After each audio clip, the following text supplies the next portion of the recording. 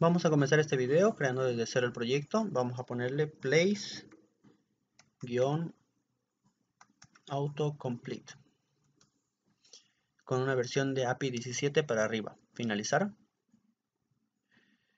Eh, dejando en claro que este proyecto soluciona ya el último error que tiene, bueno no es error, no, es solucionando la actualización que tiene la SDK de Google Maps que está desde enero hasta desde enero fue lanzado su actualización. Entonces ciertos proyectos ya no funcionaron de hasta esa fecha. Este proyecto ya tiene esos nuevos cambios. Venimos desde aquí. Primero por las dependencias.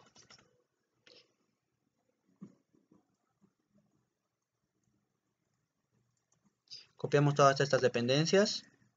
Ahí. Vamos a poner este guion para que diga que desde ahí en adelante hemos hecho. Y lo sincronizamos.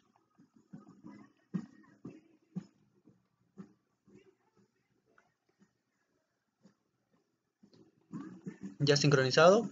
Como ven tengo el teléfono en la parte derecha para que se pueda ver cuando lo hagamos correr. Los siguientes son los permisos. Venimos aquí, venimos los permisos que vamos a utilizar para el teléfono que van arriba de Application. Siguiente es la API. que va abajo de Application. Ya hecho eso, los siguientes venían al Main Activity y a su XML copiamos todo esto. El cambio que se hizo fue agregar este fragment. Lo voy a hacer esto a un ladito. Este fragment de aquí es para la parte de arriba y este otro fragment para que se vea el mapa abajo. Este es para el buscador, el de arriba es para el buscador y el de abajo es para el mapa. Venimos al código vamos a poner todo lo que necesitamos tanto extender como implementar. Y tenemos aquí. Borramos desde aquí hasta esa parte. Y lo que sigue es cada uno de ellos importar sus librerías.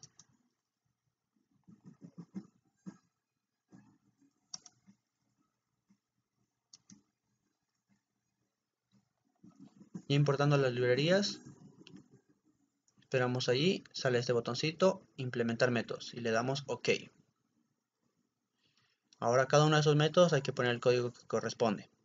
Para eso, antes de hacer esa parte, perdón, vamos a venir y copiar las variables que se necesitan. Arriba del onCreate. Y ahora recién empezamos a poner el código de cada uno de esos métodos. De todo esto. Aquí. Del onConnect este método de aquí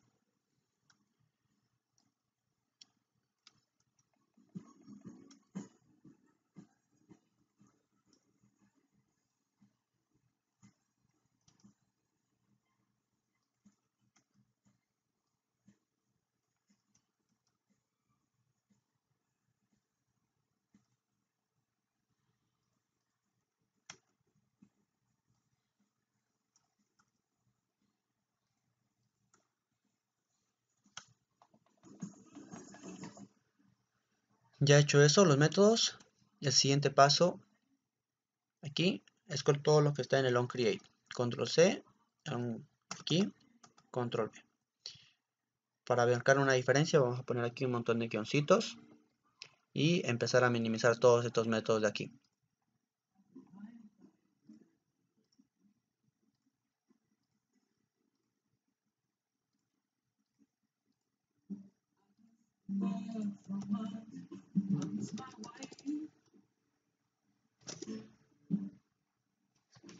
Y comenzamos a importar su librería de cada uno de ellos.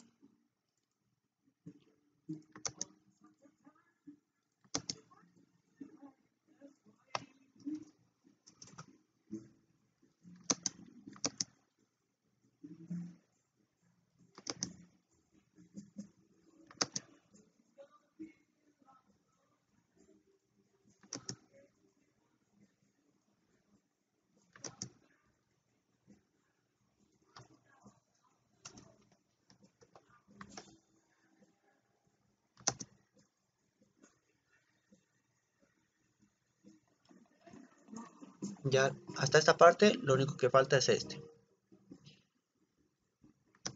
Para poder poner eso de aquí necesitamos clic derecho, nuevo valor de saque, que va a estar en strings.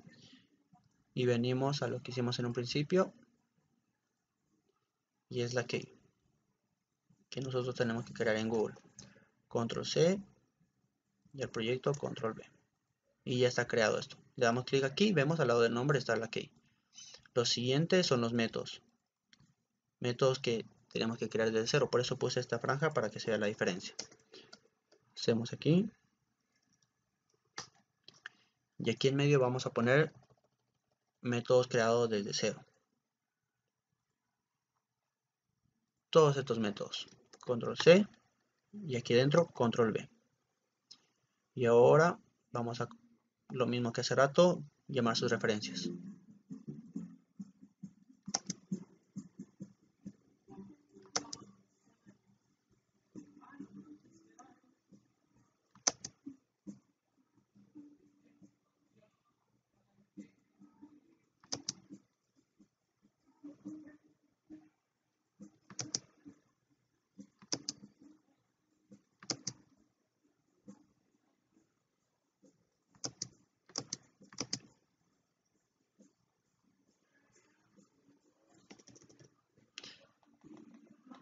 De último método, uno que es muy similar al que está aquí. Display Location. Solamente que ahora le vamos a pasar los parámetros de latitud y longitud. Que es el último que necesitábamos aquí, en el Play Selector. Ya hecho eso, terminaría el proyecto. ya no hay nada más que hacer y le damos correr.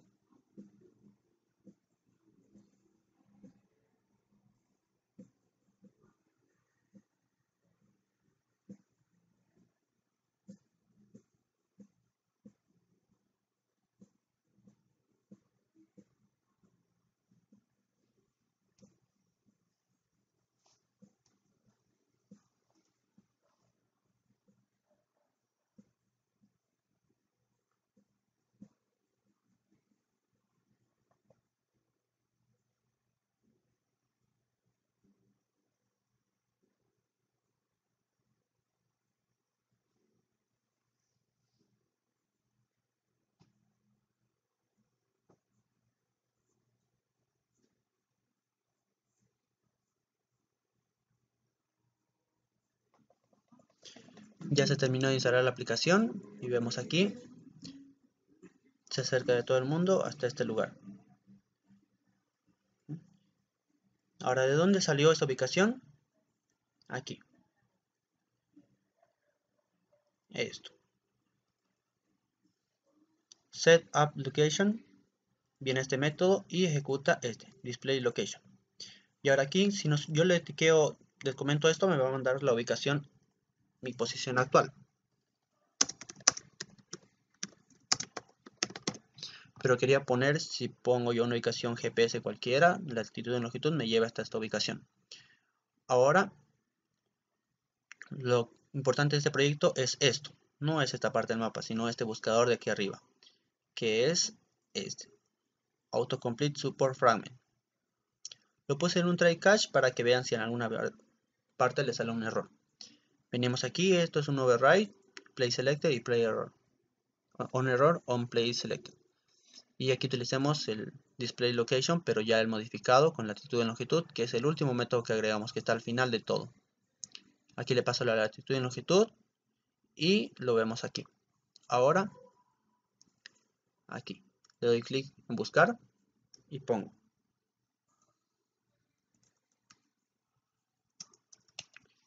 Ventura Mall, le doy clic y me lleva hasta ese lugar. Puedo poner otro, otro sitio.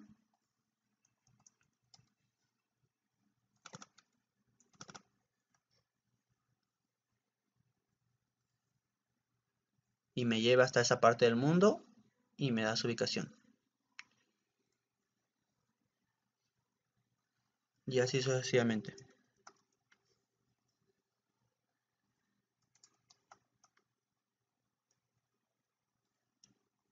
Y Bolivia y ahí me encuentro.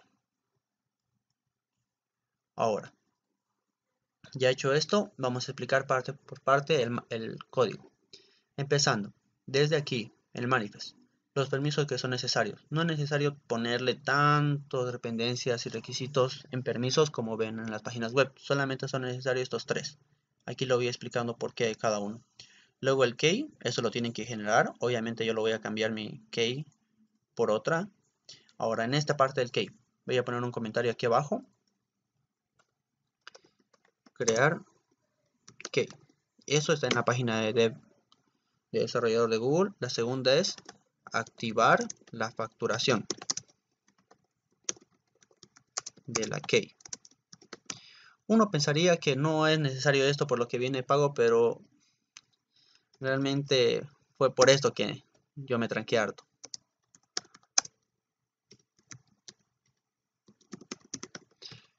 Porque no podía hacer nada, siempre me salió un error y un error y no podía hacerlo y no avancé y fue exactamente por esto. La facturación obviamente te pide una tarjeta de crédito y te dice tanto tiempo de consumo gratis y demás, pero no se olviden de desactivarlo después de un tiempo. Así que una vez activada la facturación ya van a poder tener la key disponible. No cambia la key, es la misma. Una vez que la crean es la misma. Solamente se van agregando si pones la facturación. Así que no va a cambiar. Ahora lo siguiente, después de haber hecho en el manifest, agregar esto las implementaciones, sus dependencias y venimos aquí layout main activity. Como ya expliqué, el primero es para ver el buscador, este buscador de aquí, y el segundo es para ver el mapa, el mapa que tenemos aquí abajo. Vamos al código. Primero, todo esto es para este dinamismo que tenemos en un principio. Las variables necesarias tanto para el permiso y para el movimiento del mapa. Ahora vamos un rato a cerrar el onCreate. Vamos a ver los métodos que hemos creado. Todos estos, este método, este método y este método y este método es, bueno, pueden funcionar, el place autocomplete puede funcionar sin estos métodos. Con solo haber puesto desde aquí hasta el catch, hasta ahí es el autocomplete. Todo lo demás que yo fui agregando fue para hacer la parte bonita del mapa. Porque si uno ponía aquí la ubicación, por ejemplo, vamos a poner eh, aquí una que me sugiere. Si yo le daba clic aquí y me buscaba esta ubicación, lo único que me iba a salir era el TOAS. No me iba a cambiar el mapa. Todo lo demás que hice fue para que lleve a esa ubicación en el mapa, para que se vea un poco más dinámico la librería pero solamente con esto funciona. Entonces, esto es lo que hace la parte interna del mapa. Y esto es lo que utiliza estos métodos que acabamos de crear aquí abajo. Lo siguiente, como fui explicando, son cosas del override que se tienen automáticamente por haber hecho esto de acá. Del principio. Venimos más abajo y esto. Es lo que hace mover el mapa de un lugar a otro. Al poner aquí una ubicación.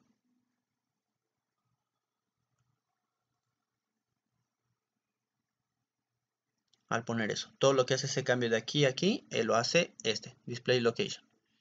Y vamos a darnos cuenta de una cosa. Vamos a venir aquí y vamos a ponerle Ventura Mall.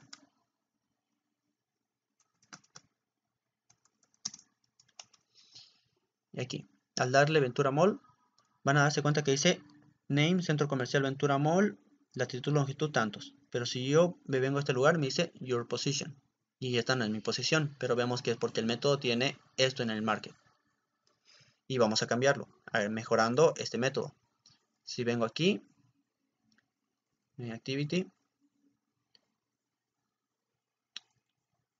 arriba, el que hace uso del autocomplete, que es este método acá, veo que en las cosas que me retorna es, vamos a ponerlo aquí a la izquierda, Explicando mejor esta librería, primero usamos el de aquí que va usando que usa exclusivamente esto. Va relacionado con este widget. Usamos la variable y ponemos los filtros. Como vemos esto es bastante dinámico. hago coma, place, punto, fill, punto, y son todos estos filtros que yo tengo para poner, para que la búsqueda sea mucho más rápida. Para mi prueba basta con el nombre y latitud y longitud. Este nombre se me habilita para que lo pueda utilizar aquí adentro. Si no, no voy a poder utilizarlo. Habilito nombre y veo que aquí en el TOAS yo podía ponerle getName y el nombre. Y este getName se lo voy a pasar también como parámetro a displayLocation. Y vengo aquí, coma, y getName. Esto es un string. Voy al método de aquí. Aquí. Y le pongo, coma, string name. Y este name se lo voy a pasar aquí. Listo. Y lo vuelvo a hacer compilar. Ahora vamos a ver que cuando yo me vaya a una ubicación del mapa va a aparecer con su nombre. Y puedo agregar un montón de cosas más. Ese montón de cosas son que se agregan primero en el filtro. Y ese filtro los activa para que ponga en el place selected. Y eso ya puedo hacer lo que yo quiera dentro del mapa. Ahora este proyecto va a estar en GitHub. El link va a estar en la descripción. El video ahorita lo voy a subir a YouTube. Y mm, el playlist igual. Siempre es bueno programar con música.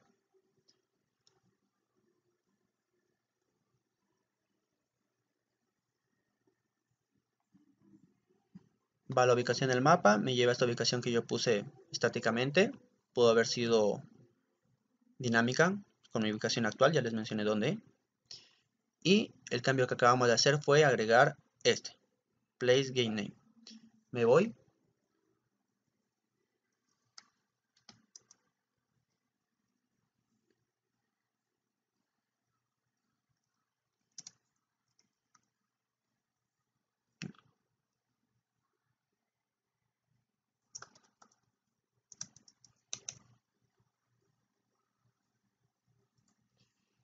Ya está, hace uso de la librería, ve ahí. Y ahora cuando le doy al market, centro comercial Ventura Mall ya agregó este place name ahí. Con eso sería todo. Y nos vemos en otra ocasión.